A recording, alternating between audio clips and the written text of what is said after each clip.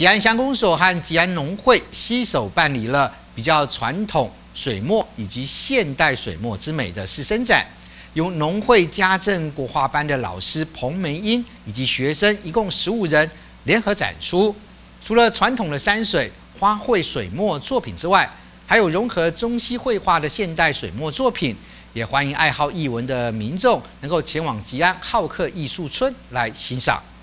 吉安乡农会家政国画班成立六年，家政班姐妹们从只会下厨做菜到学会拿画笔画国画，大家认真努力，也开发了个人潜能，展现令人惊艳的艺术成果。在这个国画的领域里面，我们是非常的陌生，也很遥远，完全是看不懂、听不懂。在人生的旅途里面，根本都没有想到有一天我们能够画出雄壮的山川、蜿蜒的小径、争奇斗艳的花场、气势磅礴的瀑布、栩栩如生的小鸟、满天的彩霞。如今我们开画展了，让我们的家人、朋友都非常的感动与佩服。指导老师彭梅英表示，这六年来看到学员们的努力，让他很感动，也很欣慰。对家政班姐妹们的作品，他感到无比骄傲。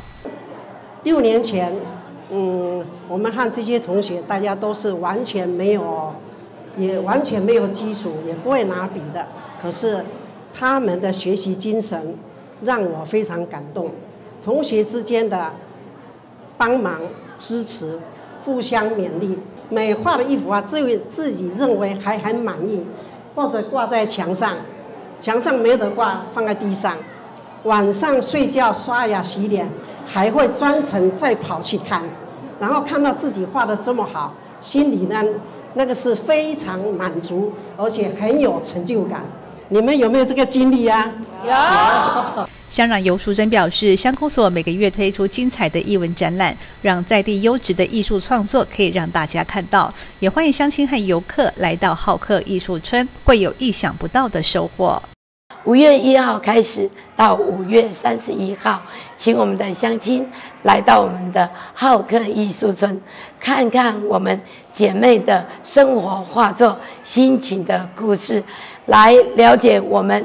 客家的文化，我们原民的精彩，以及吉安自然生态、亲子孕育的这样的一个自然美景跟生活艺能的空间，欢迎大家来到吉安浩客艺术村。